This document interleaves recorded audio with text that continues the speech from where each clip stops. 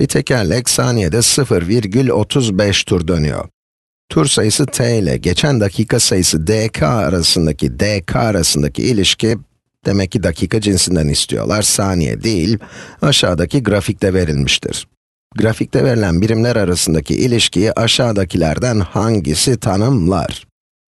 Peki, önce bir bakalım bu grafik akla yatkın mı? Saniyede 0,35 tur dönen tekerlekle tutarlı mı?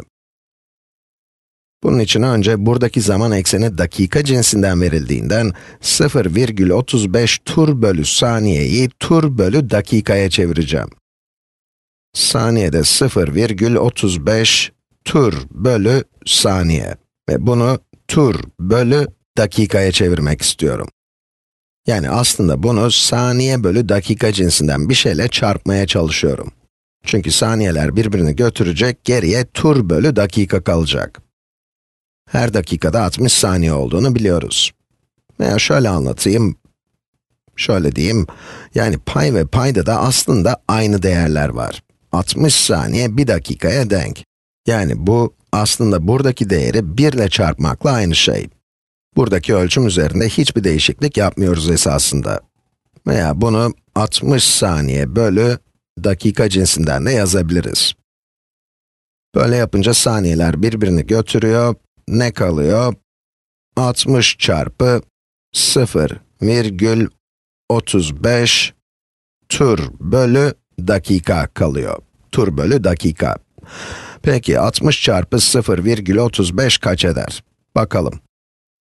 60 çarpı 0,3 18 olduğuna göre buna bir de 3 eklersek 3 nereden geldi? 60 çarpı 0,05 3'e eşittir. O zaman 18 artı 3, sonuç 21'miş. Yani bu değer dakikada 21 tura eşitmiş. Peki bu grafikte gördüğümüz değerlerle tutarlı mı? 2 dakika sonra 42 tur, 2 çarpı 21, 42 tur atmış olmamız lazım. Burası 42'ye bayağı yakın görünüyor değil mi? 5 dakika sonra da 21 çarpı 5'ten 105 tur atmış oluruz ve görünüşe bakılırsa grafikte öyle diyor. O halde grafik bu bilgiyle tutarlı. Şimdi bakalım bu ifadelerden hangisi mantıklı? x ekseninin birimi tur ve y ekseninin birimi dakika olsaydı eğimin birimi aynı kalırdı. O halde eğimin ne olduğunu bir hatırlayalım. Eğim biliyorsunuz şöyle tanımlanır herhangi bir orandan ibaret değil eğim. Eğim, dikey eksendeki yani y eksenindeki değişimin yatay eksendeki değişime oranıdır. Yani bu grafiğin çizilme biçimine bakacak olursak, eğim tur sayısındaki değişimin dakika sayısındaki değişime yani dk'ye oranı.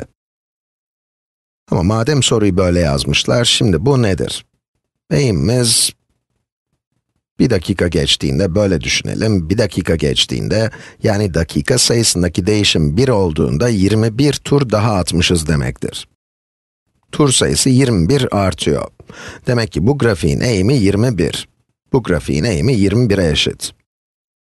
Eğer eksenlerin yerini değiştirecek olursak, yani düşey ekseni zaman, yatay ekseni tur sayısı yaparsak, eğimimiz bunun çarpmaya göre tersi olur. Yani zamandaki değişim bölü tur sayısındaki değişim haline gelir. O da 1 bölü 21'e eşittir. Yani eğim kesinlikle aynı kalmıyor, o halde bu ifade kesinlikle doğru değil. Bu bilgiyi içeren bir grafikte birim olarak tur ve saat kullanılabilir. Tabii ki skalayı değiştirebiliriz. Düşünelim nasıl yapacağız. Zaman birimi olarak saat kullanan bir grafik tabii ki çizilebilir. Mesela şu an dakikada 21 tur attığımızı biliyoruz. Bunu 60 ile çarparsak saatte atılan tur sayısına ulaşabiliriz. Yazayım. 21 tur bölü dakika çarpı 60 dakika bölü saat eşittir. 6 kere 21, 126 olduğuna göre 1260 tur bölü saat. Yani aynı bilgiyi saat birimiyle kullanan bir grafik çizmek mümkün. Şimdi buraya saatleri yazıyoruz. 1 saat, 2 saat, 3 saat. Yani bu eksen saat ekseni, bu eksen de tur ekseni. Ama bu ekseni biner biner artırsak daha iyi olur. 1000 2000, böyle devam ediyor. 0 saat geçtiğinde 0 tur atmış oluyor tekerleğimiz. 1 saat geçtiğinde ise 1260 tur. O da buralarda bir yerde. Sonuçta böyle bir doğru elde ediyoruz.